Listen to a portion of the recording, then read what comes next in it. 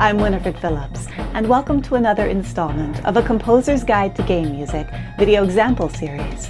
This series supplements my book, A Composer's Guide to Game Music. In this video, I'll be taking you through a moderately complex example of a game music interactivity approach called horizontal resequencing.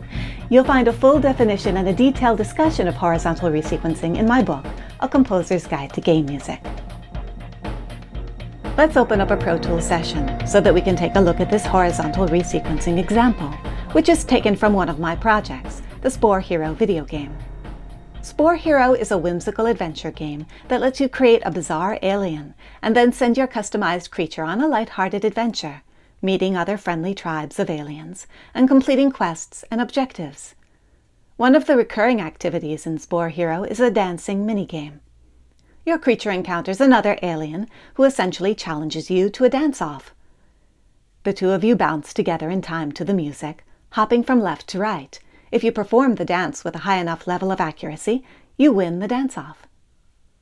Okay, here we have five music files, labeled Intro, Dance, Special Move, Failure, and Success.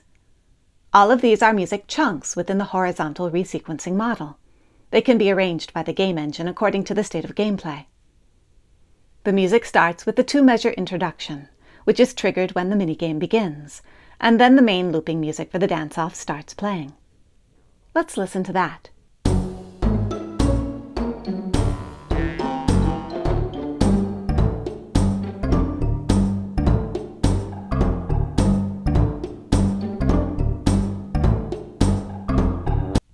This dance music can loop for however long is needed, and be interrupted by any of the other music segments when appropriate. For instance, every so often during the dance, the player will be asked to shake the controller vigorously, and this triggers a special move, a complicated footwork sequence that the aliens perform on screen. The special move music is two measures long and can be played at any time during the normal dance loop. Let's hear how the special move sounds when it's triggered.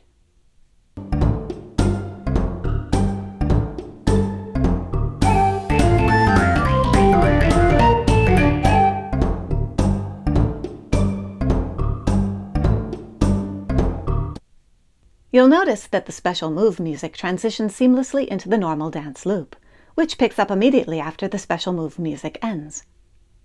If the player reaches the end of the dance minigame and has performed poorly, the failure music will be played. This two-measure segment can be played any time during the normal dance loop, interrupting the dance and ending in a dejected way. I'll play that for you now.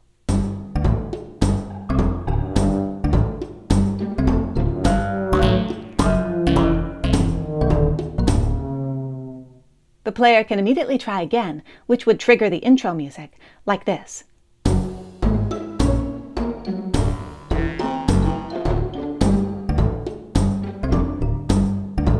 The dance minigame proceeds as it did before, with the main loop and the special move music. Let's say that the player did very well this time, completing the minigame successfully. Now let's hear the success music.